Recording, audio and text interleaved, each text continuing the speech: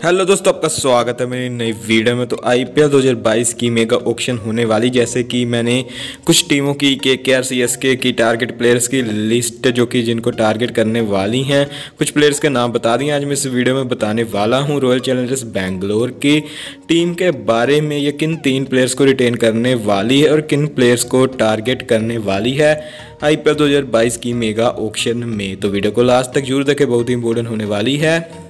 सबसे पहले हम बात करते हैं कि किन तीन प्लेयर्स को ये रिटेन करने वाली और किन दो प्लेयर्स पर आरटीएम कार्ड लगाने वाली है।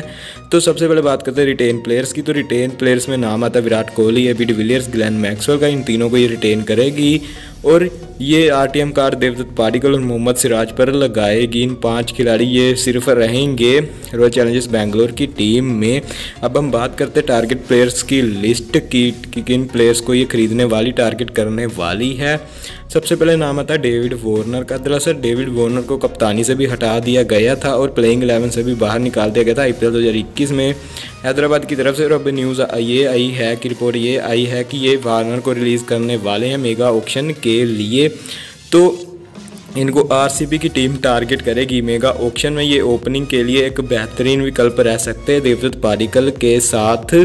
और विराट कोहली तीसरे नंबर पर आएँगे। तो ये विकल्प रह सकते एक ओपनिंग के लिए एक बहुत ही बड़ा ये प्लेयर है और इन पर बड़ा प्राइस लग सकता है डेविड वॉर्नर पर। ये थे पहले खिलाड़ी जिनको टारगेट करने वाले हैं डेविड वॉर्नर आप कमेंट करके ज़रूर बताएँ कि अगर डेविड वॉर्नर रिलीज़ होते हैं, उनको आरसीबी में आना चाहिए या फिर किसी और टीम में जाना चाहिए। नेक्स्ट जो आता नाम वो आता है यंग फास्ट बॉलर आवेश खान का। दरअसल आवेश खान का प्रदर्शन बहुत ही अच्छा रहा दिल्ली कैपिटल्स की तरफ़ से आईपीएल 2021 के फ़र्स्ट हाफ़ में इन्होंने विराट कोहली और एम एस धोनी को आउट किया था तो सभी टीमें इनसे इंप्रेस हुई होंगी। तो आवेश खान को आरसीबी की टीम टारगेट करे क्योंकि ये नवदीप सैनी को भी रिलीज़ करने वाली है तो उनकी रिप्लेसमेंट के लिए बेहतर विकल्प हो सकते आवेश खान, यंग आवेश खान जो कि पहले भी आरसीबी की टीम से खेल चुके हैं। नेक्स्ट जो बड़ा नाम आता है, वो आता है अक्षर पटेल का। अक्षर पटेल का दोस्तों, दरअसल अक्षर पटेल को इसीलिए टारगेट करने वाली है क्योंकि आरसीबी की टीम वाशिंगटन सुंदर को तो रिलीज़ कर ही देगी रिलीज़ कर ही देगी क्योंकि तीन प्लेयर से रिटेन कर सकती है। और ये उनकी रिप्लेसमेंट के लिए बहुत ही अच्छा विकल्प रह सकता है। उनके जैसा ही रोल अदा कर सकते हैं आर की टीम में। वाशिंगटन सुंदर को अगर आरटीएम कार्ड भी नहीं लगाती चांसेस तो कम है आरटीएम कार्ड के भी।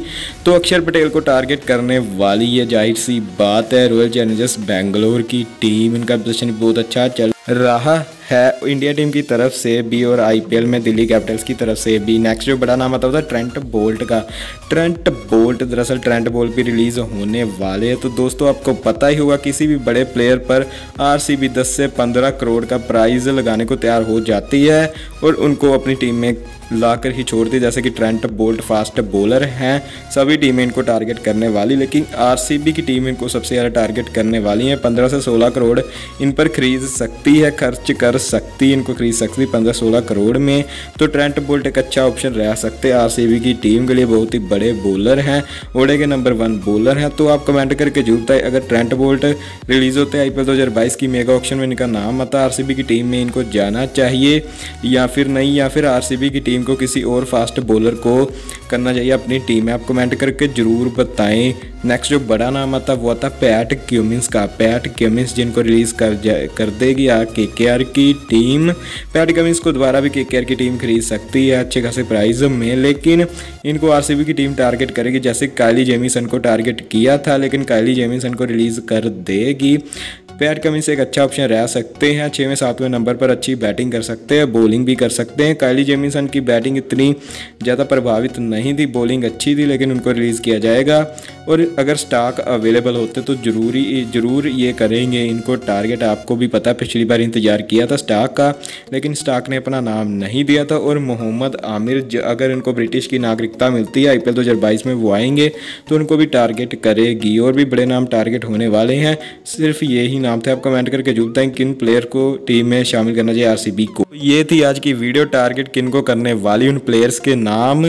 तो आज की वीडियो ये थी वीडियो अच्छी लाइक करें चैनल को सब्सक्राइब ज़रूर करते बेल आइकन को ज़रूर थैंक यू